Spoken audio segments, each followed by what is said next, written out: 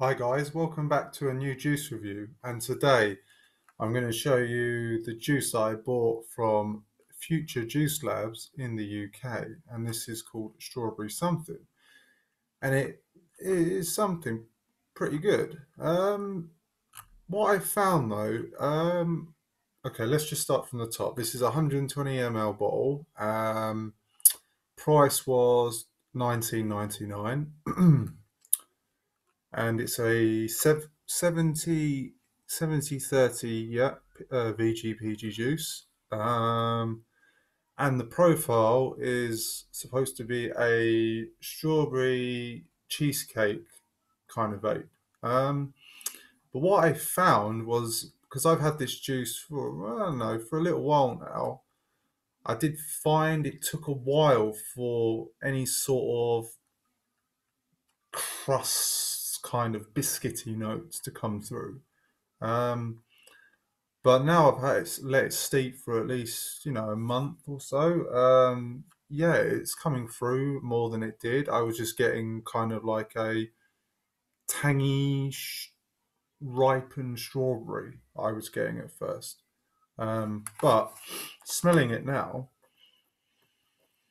yeah, it, it does smell pretty good. And I can't vape right now because the smoke alarms have been going mad. I can't smoke uh, vape inside, but um, yeah, I've been vaping this uh, on and off for a, well, like I said, about a month. I've got about bottles. Uh, um, sorry, the levels down to about here.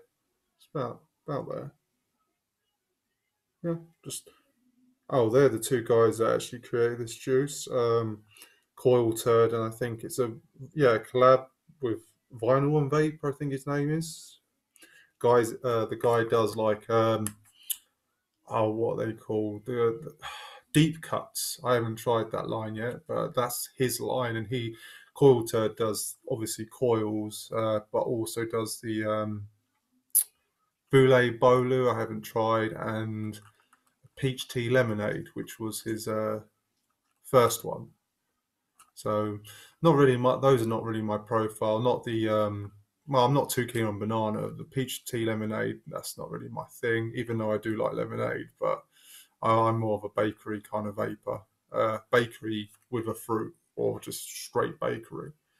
But I do find this has more strawberry. I'd say at least I'd say it's about a sixty percent strawberry with thirty to forty percent bakery notes in it. I wouldn't say it's a clean cut 50 50. I'd say you're getting more strawberry with this, which is not terrible. It is, it is quite a nice desserty strawberry. Um, but yeah, no, it's um, I'd say it's worth it if you like a strawberry cheesecake kind of vape, you know. Um, just trying to think. Anything else I left out on this one? Um, Oh yeah, that's what I wanted to say as well. Because um, my last video was done on this guy, Casitos, and the um, coffee cafe con leche, and I put it down as coffee con leche, but yeah, same kind of thing. But yeah, muddled the English with the Spanish. Um, uh, but yeah, these come in obviously a hundred mils filled to the top, which makes it difficult for you to add your nick shots.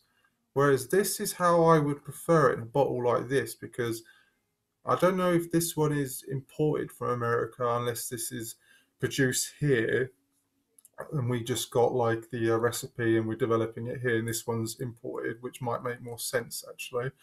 Because this one you can see the the height difference. So that extra height you can um you know obviously you can put your nick shots two nick shots, it will filter to the top. This one I struggled to get in half a nick shot.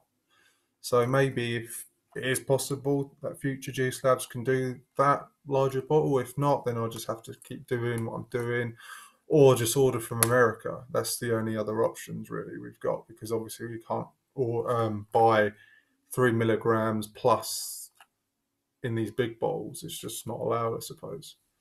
But um, yeah, guys, if you have any questions about this juice and um, any of the other juices I've done beforehand, just give us a comment. I'll um, reply.